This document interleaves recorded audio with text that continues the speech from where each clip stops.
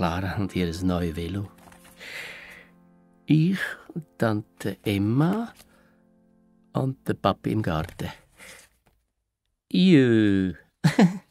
und da unser Schnuffi. Oh, du armer Hund, ja, du, du hast es mit uns auch nicht immer einfach gehabt. äh, hallo zusammen. Ich bin da gerade am Fotos einkleben. Meine Schwester Clara hat mir alte Kinderfotos von uns geschickt. Fotos, wo ich gar nicht gewusst habe, dass es die gibt. Wie die da zum Beispiel von unserem Hund Schnuffi. Unser Vater hat einmal einfach so als Überraschung einen Hund heimgebracht. Einen herzigen kleinen Dackel. Ein Rauhaardackel. Also einer, der so ziemlich rauche Haare hat. Der Dackel hat die ganze Zeit mit dem Schwanz gewedelt und hat überall umeinander geschnüffelt. Darum haben ich und meine Schwester Clara sofort Schnuffi getauft. Das hat ihm gefallen. Auf alle Fälle ist er immer wie eine Rakete anzurennen gekommen, wenn wir Schnuffi gerufen haben.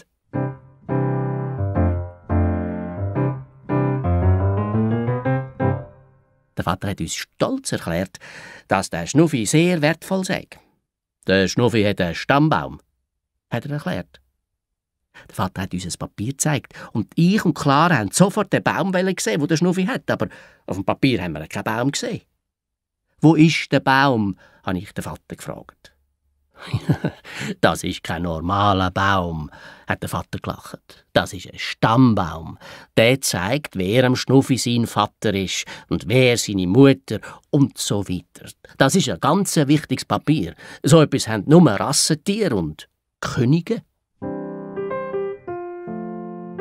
Als ich und meine Schwester das gehört haben, haben wir den Schnuffi auf die Schoss genommen und haben ihn eine ganze Stunde lang gestreichelt. Wir sind schön brav nebeneinander auf dem Sofa gesessen.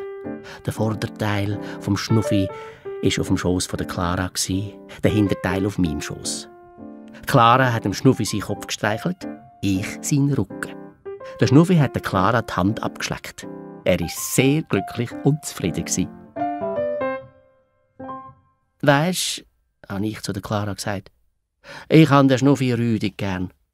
Ich finde, er ist ein ganz lieber Dackel, aber wenn er schwarz wäre, wäre er mir noch lieber. Oh, ich finde seine Graufarbe auch nicht schön, hat Clara gesagt, aber blond. Blond würde besser zu ihm passen. Wir haben den Schnuffi weiter gestreichelt. Wir könnten doch den Schnuffi teilen, hat Clara plötzlich gesagt.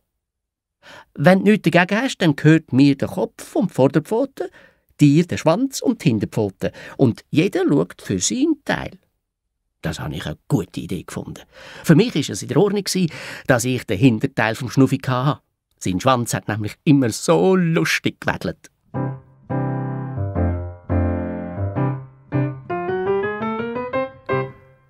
Einig, wo Mami und der Papa ins Theater gegangen sind, hat Clara verkündet, ich habe mich entschieden.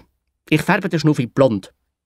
Sicher nicht, habe ich protestiert. Das erlaube ich dir nicht aber er sieht dann viel besser aus und passt auch besser zu meiner Haarfarbe. Wenn Clara etwas sagt, dann macht sie es auch. Und sofort ist sie ins Badzimmer und hat das Haarfärbmittel von Mami geholt. Ich habe den Schnuffi in die Arme genommen und brüllt, du darfst aber nur deine Hälfte blond färben, meine nicht. Gut, dann färbe ich halt nur meine Seite. Clara hat den Schnuffi tatsächlich blond gefärbt, genau bis in die Mitte. Ich habe mich furchtbar aufgeregt. Blonde Hunde gefallen mir gar nicht. Ja, dann färbe ich meine Hälfte schwarz, habe ich trotzt. Hey, das ist doch gut, hat Clara gemeint. Dann sieht man besser, welche Seite wem gehört. Ich habe die schwarze Schuhwichse geholt und habe mich an die Arbeit gemacht. Und nicht lang, und der Schnuffi war zweifarbig. Eine Hälfte blond, die andere schwarz. Ich glaube, der Schnuffi hat Freude gehabt, als er sich im Spiegel angeschaut hat. Er hat auf alle Fälle fünf Minuten lang sein Spiegelbild abballert. Ich wette mit dir, hat Clara stolz gesagt. So einen Hund wie der Schnuffi gibt's nur einmal auf der Welt. Als Mami und der Papi den Schnuffi gesehen haben, haben sie das erste Mal nichts gesagt. Beide haben das Maul aufgerissen und haben den Schnuffi angestarrt. Wer hat das gemacht? hat schließlich der Vater gefragt. Clara hat sofort auf mich gezeigt. Er war es. Dabei hat sie damit angefangen. Leider kann ein Hund nicht reden. und kann darum auch nicht erzählen, wie es wirklich war. Das Mami und der Papi haben lange mit mir geschumpfen. Für diese Woche kommst du kein Sackgeld über, hat der Vater ausgerufen. Ich wollte schon protestieren. Da ist Clara zu mir und hat mir ins Ohr geflüstert, ich gebe dir die Hälfte von meinem Sackgeld, wenn mir nicht verratest. Hm, abgemacht, habe ich knurrt.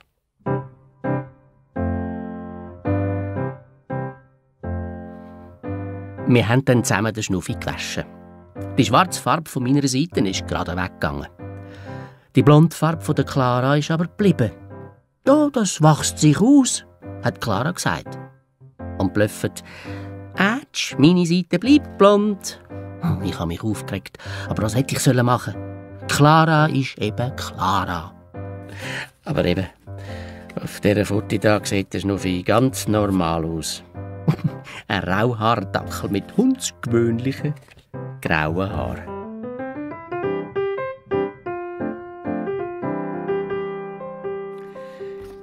Äh, apropos Schnuffi, da kommt mir gerade noch eine andere Geschichte in den Sinn. Einisch haben ich und Clara im Garten gespielt. Da haben wir plötzlich ein feines Miau gehört. Wir haben unsere Ohren gespitzt. Hey, das ist ein ganzes kleines Kätzchen. Clara war ganz aufgeregt. Warum weißt du das? Weil es ganz fein ruft, hat Clara geflüstert. Grosse Katzen miaut ganz anders. Wir haben das Kätzchen im ganzen Garten gesucht und unter dem Johannisbeerstrauch haben wir dann ein kleines, verschupftes Kätzchen gefunden. Es war pechschwarz, mit einem weißen Fleck auf der Stirn und, und der Spitz vom Schwanz war auch weiss. Clara hat sofort in die Arme genommen und ist vor Freude umeinander gekumpelt. Wir haben das Kätzchen gefunden! Wir haben das Kätzchen gefunden! Ja, und was machen wir jetzt mit dem? habe ich gefragt. Ja, wir nehmen es, ich, mit heim, ist doch logisch. Aber was sagt Mami dazu? habe ich gefragt. Es wird sich freuen. Und der Papi? Warum soll der Papi dagegen sein? Du, wir haben doch den Schnuffi, habe ich gesagt. Und der Schnuffi hat Katzen nicht gern, das weißt du doch. Ach, Quatsch hat Clara gesagt. Der Schnuffi hat einfach fremde Katzen nicht gern. Das Kätzli da ist aber mein Kätzli und der Schnuffi wird das Kätzli gern haben. Ich bringe ihm's bei. Clara hat also gewusst, wie man eine Katze und einen Hund zusammenbringt. Die Hei sind wir ins Zimmer geschlichen. Der Schnuffi hat schon von weitem knurrt. Es war ein ruhiger Sonntag. Der Vater war in der Stube, die Mami in der Küche und wir sind mit dem Kätzchen bei der Clara im Zimmer. Nach einer Weile hat Clara gemeint, jetzt kannst du den Schnuffi holen, aber musst ihn vorher streicheln, er muss ganz ruhig sein.